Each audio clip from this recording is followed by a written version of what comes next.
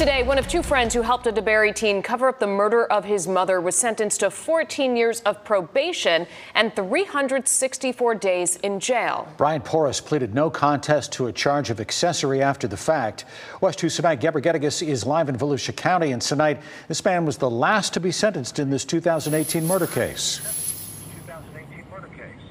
That's right, guys. Gregory Ramos, who, was, who killed his mother in 2018, is currently serving 45 years in prison. And one of the friends who was charged with accessory after the fact got 10 years probation last year. And then in court today, the last friend facing that same charge, Brian Porras, walked out with handcuffs on after the judge told him his fate.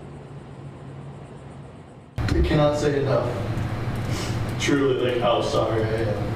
In court Friday, Brian Porras broke down in tears, asking for forgiveness for his part in covering up a murder. I, I think about what if this was happening in my family? The judge sentenced him to 14 years of probation and 364 days in jail. Porras, now 21 years old, was one of two friends accused of helping Gregory Ramos hide his tracks after he killed his mother, Gail Cleavenger.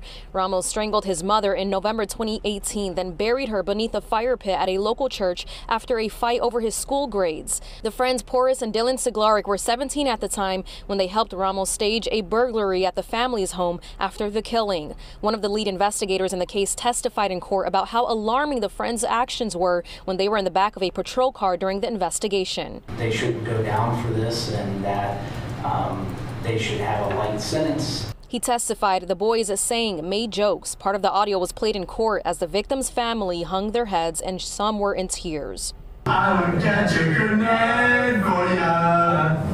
Cleavenger's family members said Porras should face tough consequences my husband and I have to parent children who have experienced unimaginable trauma. You should have time to think about how you contributed to this tragedy. Now, Porras has had to wear an ankle monitor since the murder happened, and some of his family members also testified in court today saying he has since tried to better his life by pursuing a college degree and getting a job. The judge told him today that he should see it as an opportunity after getting his fate by continuing to improve his life and continue down on that path after he gets out of jail. We're live in Volusia County. Senait Gebregiorgis, WESH 2 News.